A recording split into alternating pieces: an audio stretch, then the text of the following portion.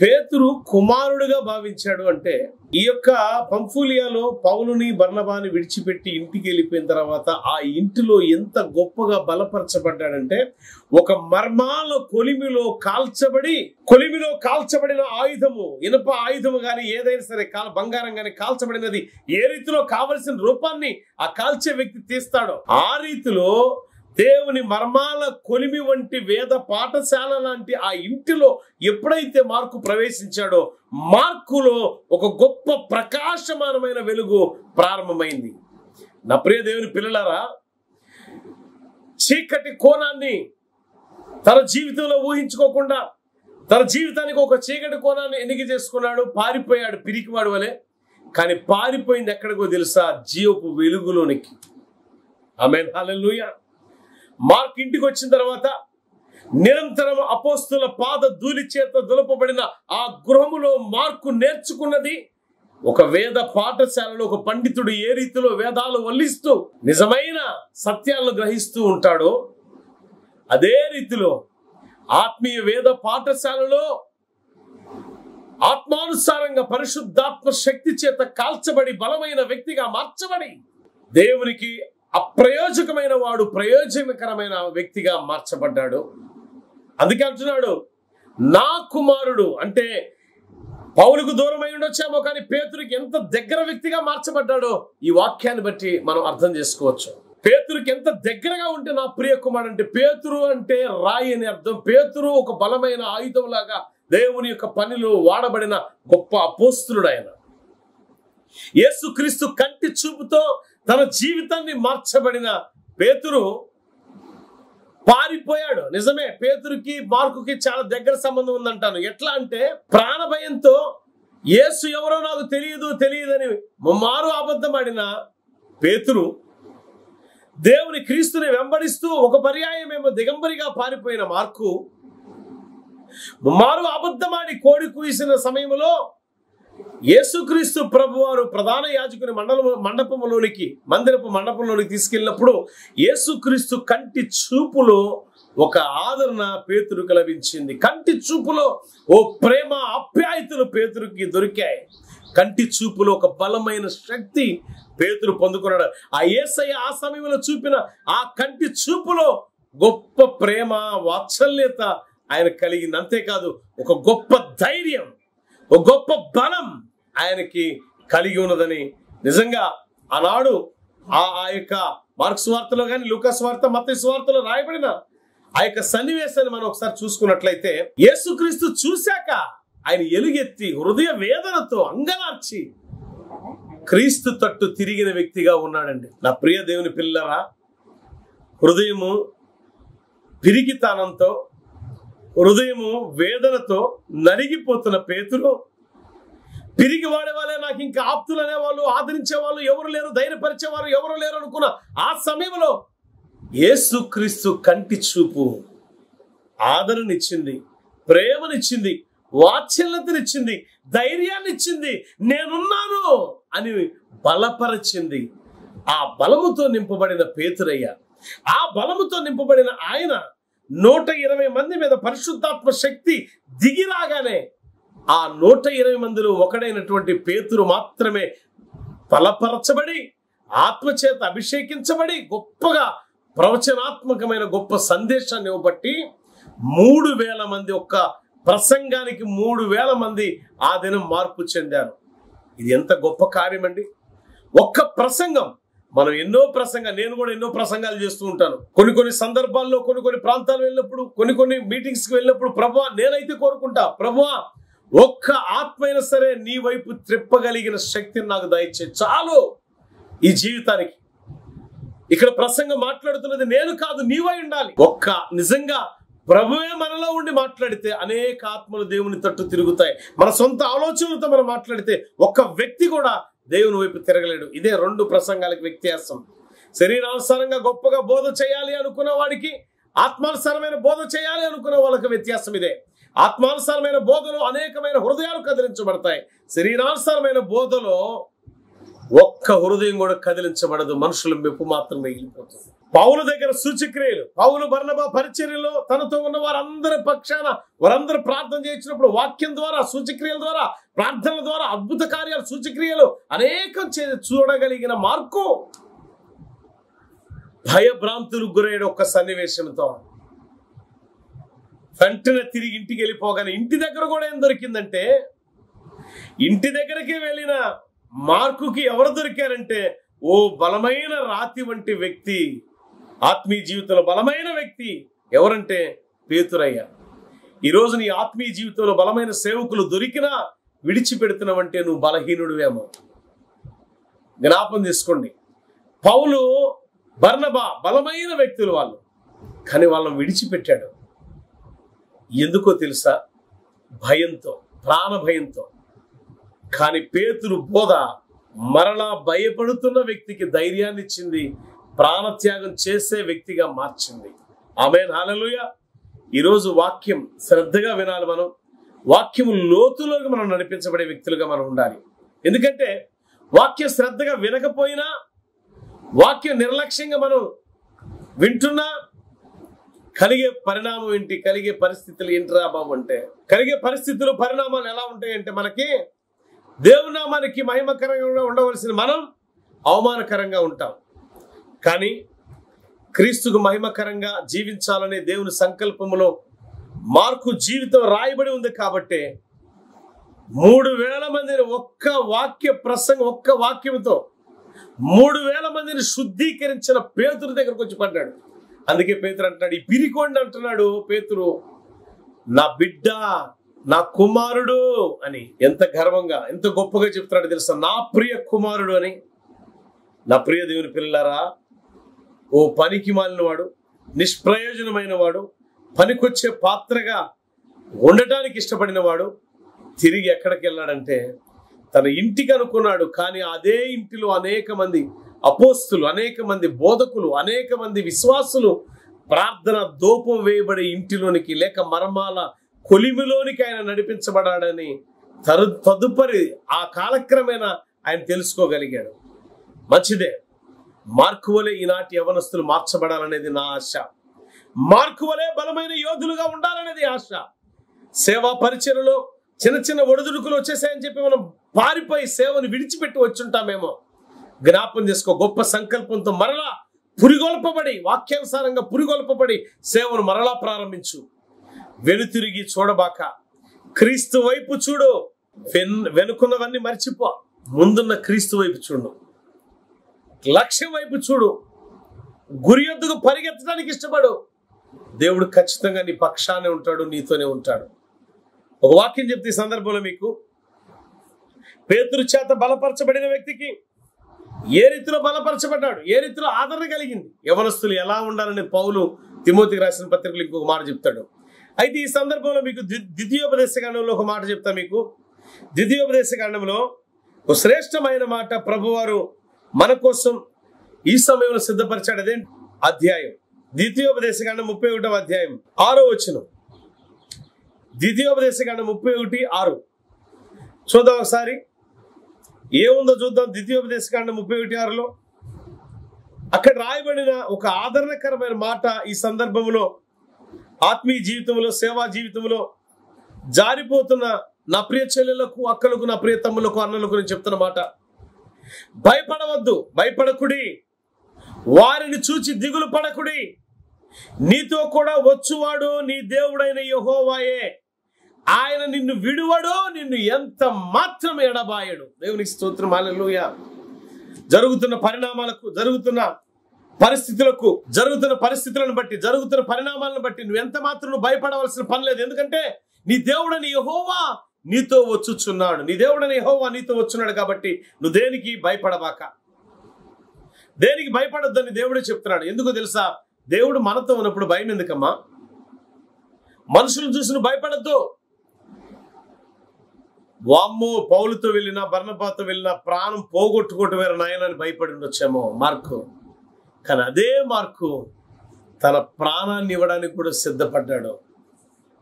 చూడండి పరిశుద్ధ గ్రంథములు ఈ మాటలు రాయబడి లేదు కానీ మార్కు పేతుల చేత బలపరచబడి అలెగ్జాంద్రియ పట్టణానికి వెళ్ళి అలెగ్జాంద్రియ పట్టణంలో ప్రవేశించగానే ఇందాక నేను మీకు చెప్పాను మీకు క్రీస్తు శకం యేసుక్రీస్తు పరమునకు వెళ్ళిన తర్వాత యాభై ఎనిమిది అరవై ఒకటి మధ్యకాలంలో జరిగిన సంఘటన ఇది. క్రీస్తు శకం. అలెగ్జాంద్రియా పట్టణానికి వెళ్ళినప్పుడు అలెగ్జాంద్రియా పట్టణంలో ప్రవేశించినప్పుడు ఆ పట్టణంలో మార్కు చెప్పు తెగిపోతుంది. మార్కు చెప్పు తెగిపోతే చెప్పు కుట్టించుకోవడానికి అనియానస్ అనే ఒక వ్యక్తి దగ్గరికి వెళ్తాడు మార్కు. అనియానస్ అనే వ్యక్తి ఆయన చెప్పు మార్కుది మిషన్ మీద పెట్టి కొడుతూ ఆ యొక్క సుత్తితో అలా మేకు మేకు దిగగొట్టుతూ ఉన్న సమయంలో ఆ పొరపాటున స్లిప్ అయి ఆ మేకు తన చేతికి గుచ్చుకోగానే పెద్దగా హై సోతియోస్ అన్నాడంట.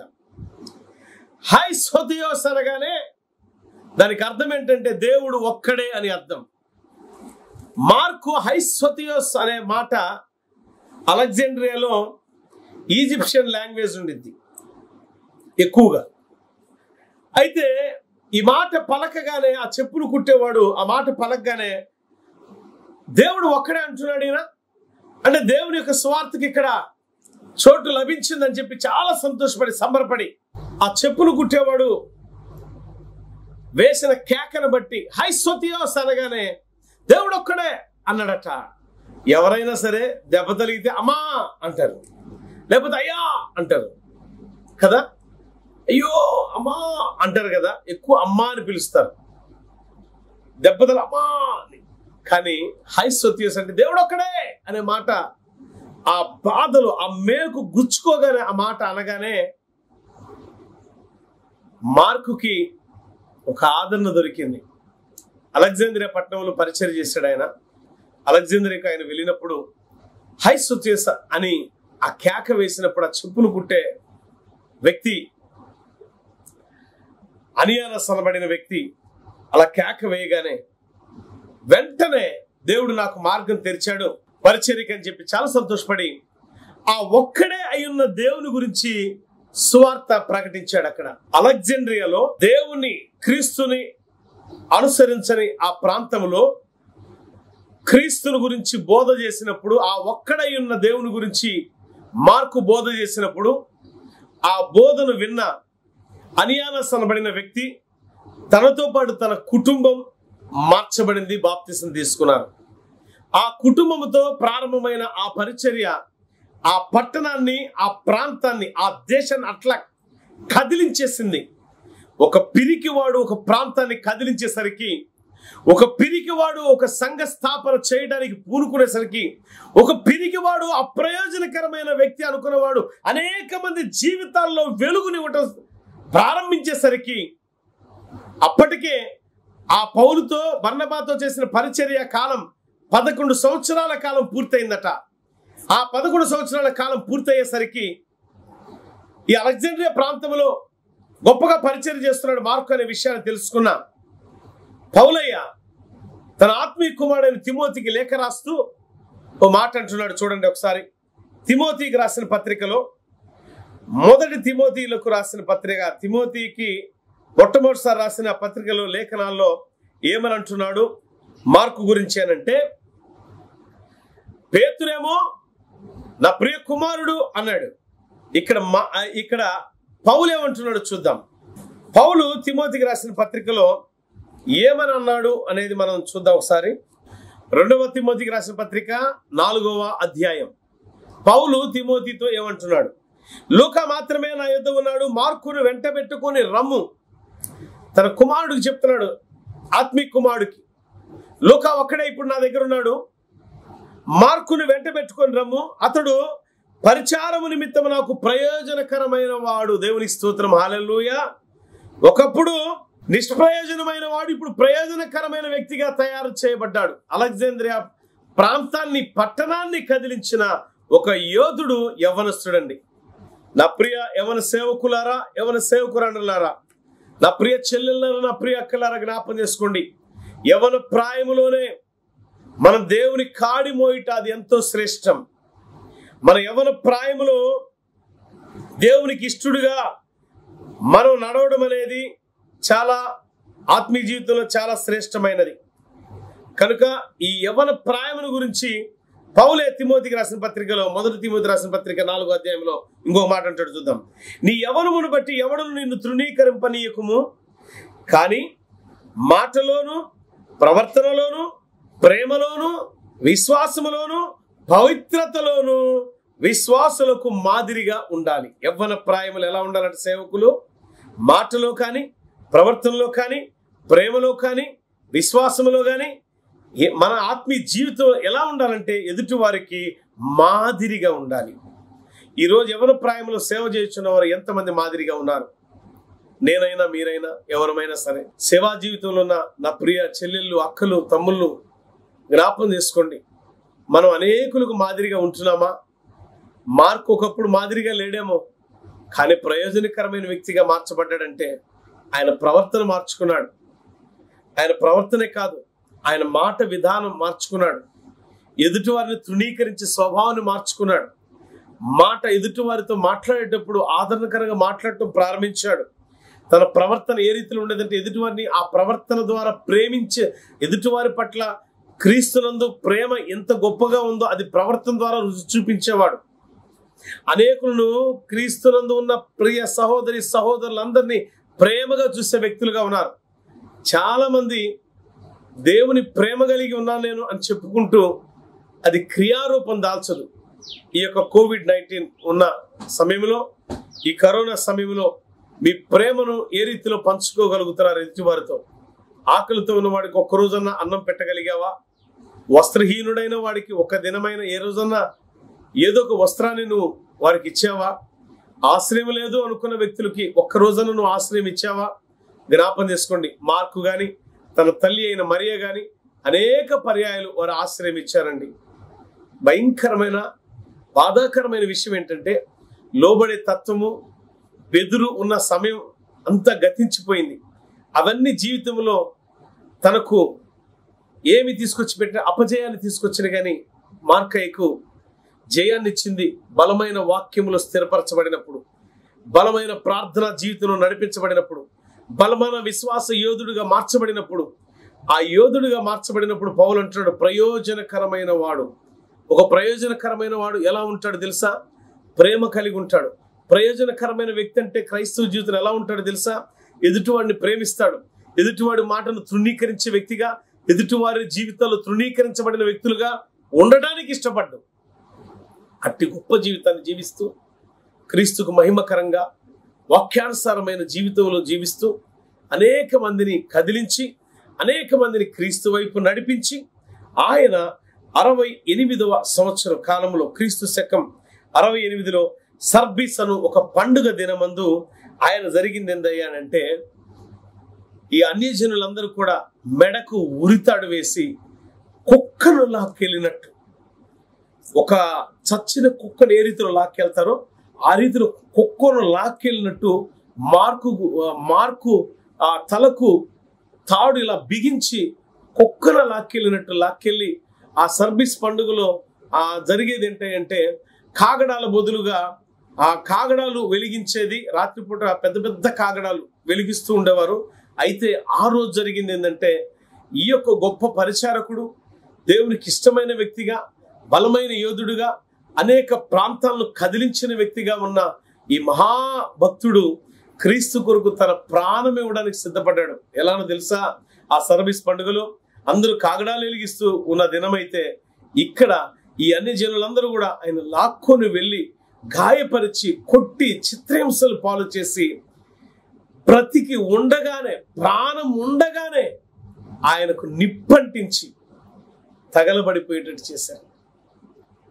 గొప్ప విషయం కాలక్రమేణా తదుపరి దినాల్లో అనేక మంది భక్తులు అక్కడున్న సంఘ సంఘ విశ్వాసులు ఆ కొందరు ఆమె ఆయన యొక్క ఎముకలను భద్రపరిచారు. అక్కడి నుంచి అనేక ప్రాంతాలకు వెడలిపోయినాయి.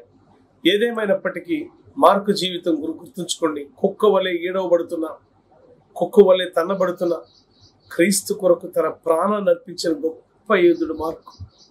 ఈనాటి కాలములో మనం సేవ చేస్తున్నామంటే క్రీస్తుకు మాదిరిగా చేయాలి.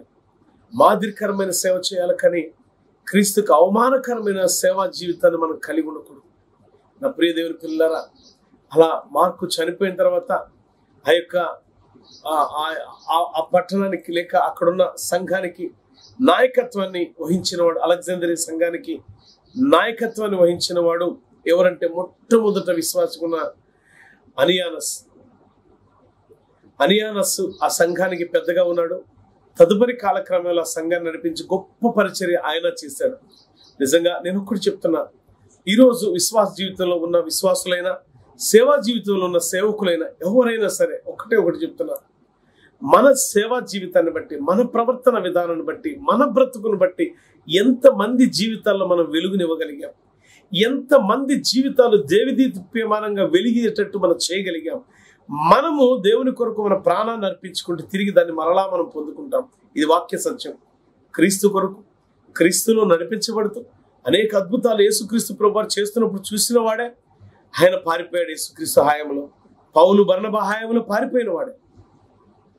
పేతురు కాలంలో బలపరచబడ్డాడు. బలపరచబడి మళ్ళా పేతురుతో పౌలైతో కలిసి పరిచారకుడుగా ఉండి గొప్ప పరిచయం చేశాడు. ఇలా వీళ్ళతో నేను కలిసి ఉండటం కాదు కానీ నేను సొంతగా ఒక సంఘాన్ని స్థాపించాలి అని అలెగ్జాంద్రియా పట్టణాన్ని ఎన్నిక చేసుకుని అలెగ్జాంద్రుకు వెళ్ళాడు. అలెగ్జాంద్రుకు వెళ్ళాడు. ఆయన క్రీస్తు కొరకు హతసాక్షి అయ్యాడు. ఆ పట్టణాన్ని ఆ ప్రాంతాన్ని కదిలించి వేసి గొప్ప వీరుడుగాను హతసాక్షిగాను చరిత్రకెక్కి అనేక మంది ప్రాంతాల్లో అనేక మంది జీవితాల్లో గొప్ప వెలుగునిచ్చి తన పేరుకున్న పేరుకున్న అర్థాన్ని సార్థకత చేసుకున్నాడు. నా ప్రియ దేవుని పిల్లలారా ఒకటి విశ్వాస జీవితంలో విశ్వాసగుణ అని అనియానస్ అనబడిన ఆ ఆ భక్తుడు మొట్టమొదటి అలెగ్జాండర్ పట్టణంలో పట్టబడిన వాడు. ఆయన తను తను క్రీస్తుని నమ్మటమే కాక తన కుటుంబాన్ని కూడా ఈ అని అనియానస్ అనబడిన వ్యక్తి తనే కాదు తన కుటుంబాన్ని రక్షించుకున్నాడు. తనే కాదు తన కుటుంబం ఆ కుటుంబం కాకుండా ఆ పట్టణంలో ఆయనకు అనుకూలమైన వ్యక్తులందరినీ కూడా మార్కుకు పరిచయం చేశాడు మార్కుకు భోజనం పెట్టాడు మార్కుకు ఆశ్రయం ఇచ్చాడు. తదుపరి కాలక్రమంలో మార్కు ఏ రీతిలో హతమైపోయినా భయభ్రాంతులు గురి కాలేదు కానీ ధైర్యంతో నింపబడ్డాడు సంఘాన్ని ముందుకు నడిపించాడు. ఈరోజు చాలామంది చాలా మంది సేవకులు కొన్ని కొన్ని విషయాలు కొన్ని కొన్ని ఆటంకాలను బట్టి భయభ్రాంతులకు గురైపోయి సేవా పరిచయను విడిచిపెట్టే వ్యక్తులుగా ఉన్నాం. సేవకుడు అంటే ఒక విశ్వాస జీవితంలో నిలబ నిలబడిన వ్యక్తి అంటే క్రీస్తునందు క్రైస్తవులుగా జీవించబడుతున్న ప్రతి ఒక్క వ్యక్తి సేవకుడు కావచ్చు విశ్వాసి కావచ్చు స్త్రీ కావచ్చు పురుషుడు కావచ్చు ఎవరైనా ఒకటే నేను చెప్తున్నా. యేసు క్రీస్తునందు మన విశ్వాసం ఎలా ఉండాలంటే అనేక మంది జీవితాలను వెలిగించే రీతిలో ఉండాలి. క్రీస్తునందు మన విశ్వాసం అనేక మంది బ్రతుకుల్లో వెలుగునిచ్చే రీతిలో ఉండాలి. ఆ రీతిలో మీరందరూ ఉంటారని మనస్ఫూర్తిగా కోరుకుంటున్నా. యవన ప్రాయంలో యవనాన్ని వ్యర్థం చేయబాక యవన ప్రాయములో నీ ప్రవర్తన ఎందు నీ యొక్క నడక ఎందు నీ పడక ఎందు నీ యొక్క మాట ఎందు విశ్వాసమందు దేవునికి ఆ ఆ నామానికి మహిమకరంగాను అంతేకాదు విశ్వాసులకు మాదిరిగా నువ్వు జీవించాలని మనస్ఫూర్తిగా కోరుకుంటున్నా. దేవుడి మాటలు దీవించను గాక. గాడ్ బ్లెస్ యు ఆల్ దయచేసి గమనించండి. Pastor Sahadev ministries YouTube subscribe చేయండి. అనేకులకు ఈ వర్తమానాన్ని అందించి వాళ్ళు కూడా ఆత్మీయ జీవితంలో బలపడలాగున సహాయం దయచేయండి. ఇప్పటి వరకు వాక్యం విన్న నా ప్రియ చెల్లెళ్ళ కొరకు నా ప్రియ అక్కల కొరకు మరి సేవా జీవితం మధ్యలో లేక విశ్వాస జీవితం మధ్యలోనే జార విడుచుకున్న వ్యక్తుల ఆ వ్యక్తుల కొరకు ప్రార్థన చేస్తాను. మీరందరూ కూడా బలపడాలి. మార్కు వలె అనేక జీవితాలను వెలిగించే యోధులుగా మీరు మార్చబడాలి. మీకోసం ప్రార్థన చేస్తాను. దయచేసి అందరూ తల్ల ఉంచండి. మహాపరిశుద్ధుడా మహోన్నతుడా గొప్ప దైవమని కొందనాలు. మార్కు ఏ రీతిలో? తమ జీవితాలను అలెగ్జాందరు పట్టణంలో ఉన్న ప్రజల జీవితాలను వెలిగించాడు. మేము కూడా మా చుట్టుపక్కల ఉన్న ఇరుగు పొరుగు వారి జీవితాలను వెలిగించే యోధులుగా యోధురాలుగా విశ్వాస జీవితంలో నమ్మకంగాను అయా ఇదిగో అనేకులకు మాదిరిగా మేము జీవించేలాగా సహాయం దయచేయండి.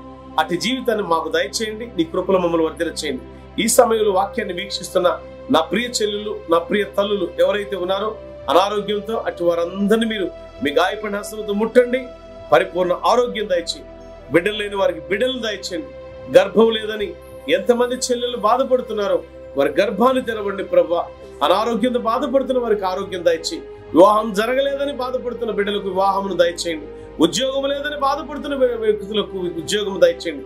ఏదేమైనప్పటికీ మార్కు వలె నీ తట్టు మేము తిరిగి కడవరకు నమ్మకమైన జీవితాన్ని అనేకులకు వెలిగించే జీవితంగా మేము ఉండాలి. వారైతే కాగడాన్ని వెలిగించే సమయంలో కాగడాలను వెలిగించకుండా మార్కుని అయా ఇదిగో తండ్రి ప్రాణం ఉండగానే నిప్పంటించారు. కానీ ఆ నిప్పు ఆ మంటలు అనేక జీవితాలను వెలిగించినాయి అనే విషయాన్ని వారు మర్చిపోయారు. కాలక్రమంలో ప్రభు ఆ యొక్క దహనము చేయబడిన మార్కు అయా తగలబెట్టబడుతున్నారు అనుకున్నారు. మార్కులో నుంచి వెలు అయా తగలబడుతున్నప్పుడు వచ్చే ఆ వెలుతురు అనేక మంది జీవితాలు వెలిగించింది. మా జీవితం కూడా అనేకులను వెలిగించేలా సహాయం దయచేయమని ఏ సునామనుడుచున్నాను తండ్రి. Amen. God bless you all. దేవుడు మీ అందరినీ దీవించను గాక. ఆమెన్.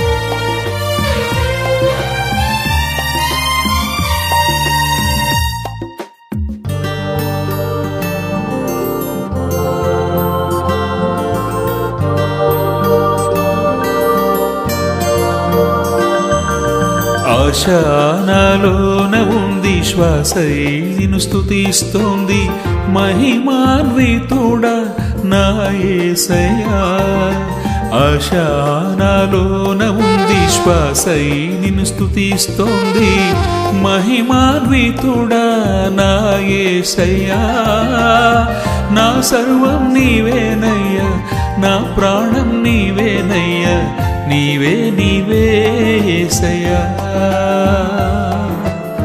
నా ప్రాణం నీవేనయ్యా నా సర్వం నీవేనయ్యా నా ఏసయ్యా ఏసయ్యా. ఆశానాలోన ఉంది శ్వాసై నిన్ను స్థుతిస్తోంది మహిమాన్వితుడా నా ఏసయ్యా.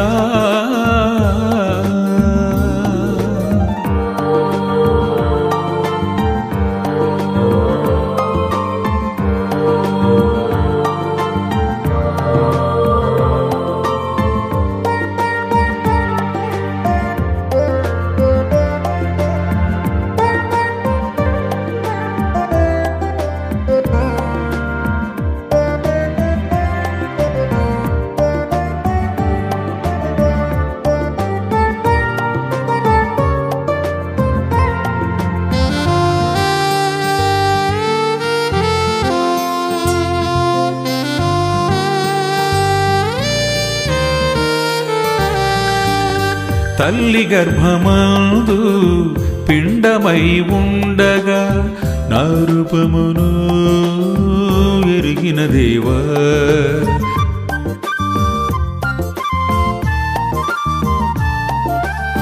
తల్లి గర్భమందు పిండమై ఉండగా నా రూపమును ఎరిగిన దేవా. సర్వం నా కొరకై నీవు సిద్ధం చేశావు. సర్వం నా కొరకై నీవు సిద్ధం చేశావు. సర్వోన్నతుడా నా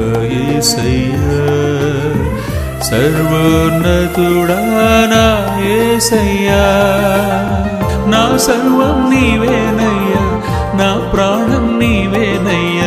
నీవే నీవే